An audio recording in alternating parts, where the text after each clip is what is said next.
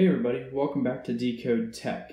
Today's video is going to continue our introduction to Python and today we're going to be introduced to a concept called variables. But first let's do a little bit of playing around first.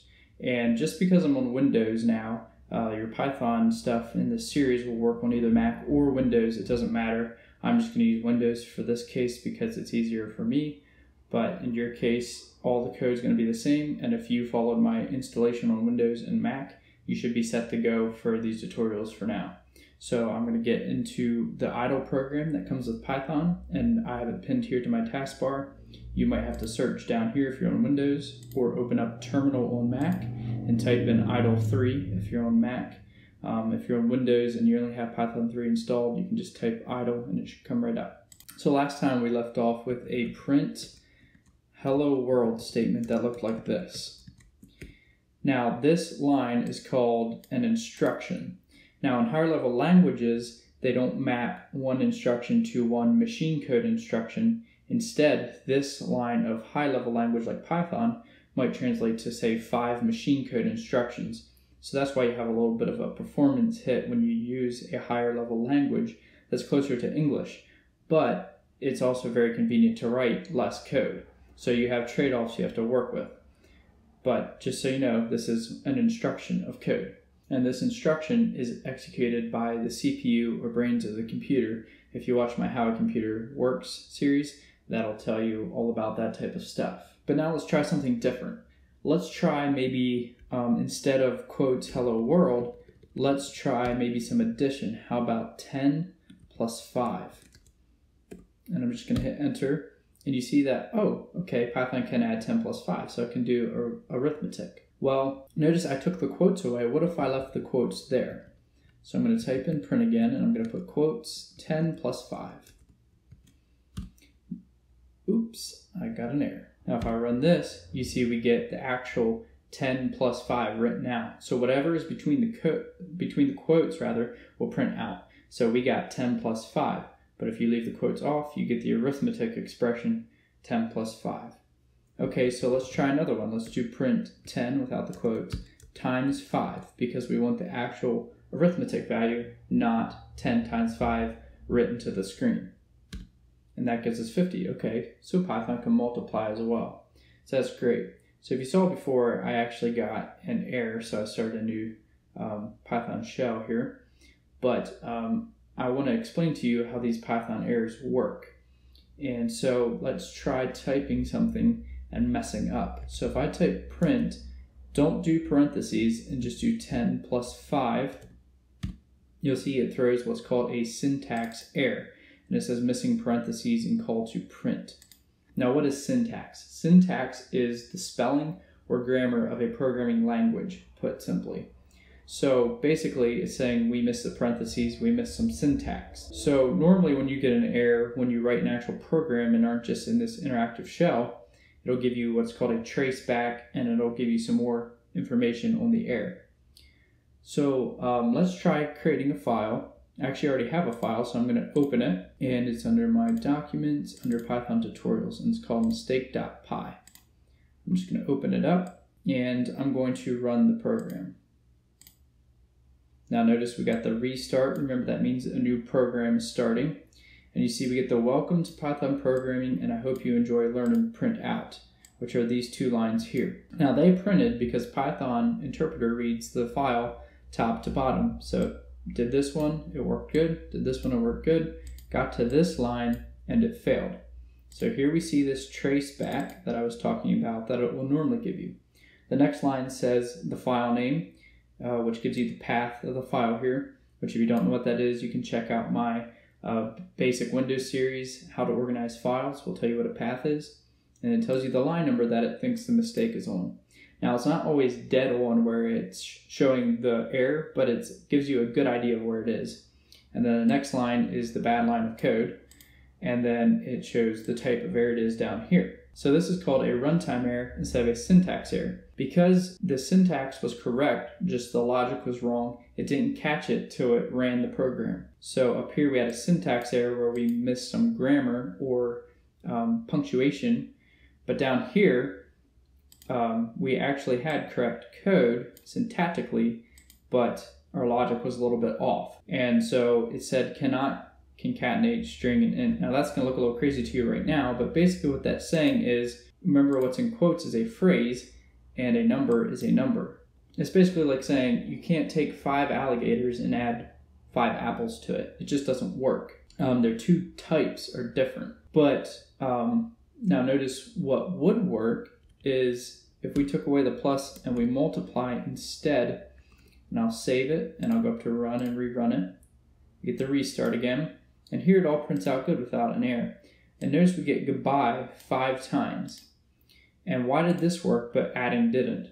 Well, basically it's like saying you can't add alligators and apples, but you can multiply apples. For example, if you have an apple and you want to multiply it by five, you can have five more apples. But you couldn't multiply apples by alligators. That just doesn't work. So it's the same um, idea here. So let's try some more things in the interactive shell. Um, let's clear this one out and open a new one. There's no convenient way to clear a shell, unfortunately, so I'm going to be closing out and reopening sometimes here. So let's try something else. How about print two phrases? How about cat plus the phrase dog? Notice it just joins them together. So since these are both phrases, um, the plus operator just smashes them together. Um, this is something fancy called concatenation. Um, I believe it's spelled like concatenation. I think so. I might be wrong on that. But just for now, um, in other words, it means it's not adding them together like it would numbers, which is addition, but instead it's joining them or concatenating them is the big word. We'll get more into that later. Just wanted to make you aware that's why that acts like that. Now notice if I went print quote 55 plus quote 5, that'll give us 5555. Why? Because we put the quotes saying, hey, this is a phrase in Python, and we'll learn later that's called a string, and it just concatenates them together because this is not numbers, this is phrases. So it joined the phrase 55 and 5 together, giving us 555 instead of 60. Okay, so I'm going to leave that there for now, and we'll get back to that stuff later.